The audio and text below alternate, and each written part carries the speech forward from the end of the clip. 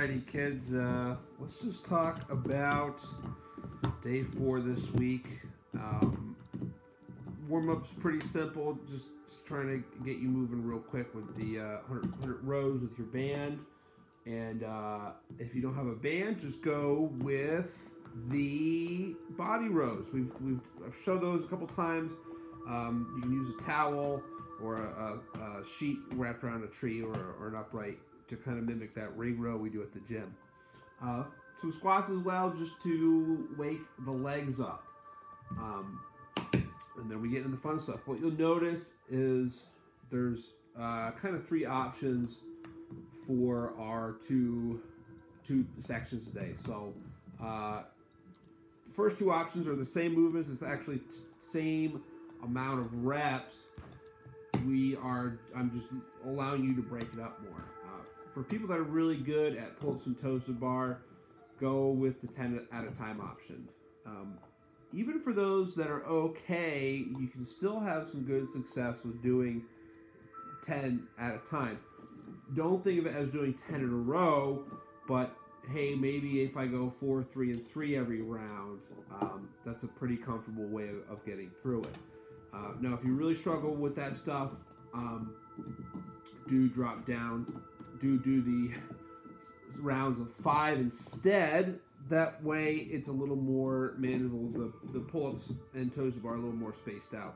Um, if you don't have a pull-up bar or you are not a pull-upper, uh, there's the third option, and that's got the, the rows. Use your weight there. Uh, one arm row. That's why it's 10 per side. And, uh, you know, we still got those burpees in there. Folks that do not have a pull-up bar, um, my first thought is is is find one. Uh, you can go out to the parks. We found all sorts of good ones last week. Uh, there's a nice little trail by the Potsdam School. Um, I found some nice monkey bars that that are spaced out nicely that can be used as pull-up and toes to bar bars down in Ives Park. And no one's no one's out there, guys. So you know you can hop up and it's all you. I'm sure um, every town's got a nice park. You can go off the monkey bars or find something on the playground. Uh, I found some nice door frame pull-up bars at Walmart. I got I got one in my uh, my between my dining room and my kitchen. That way, every time I get some food, I have to do pull-ups. Um, if you do end up with the door frame pull-up, do not kip because that thing will go flying. You're gonna, you're gonna have to keep them strict.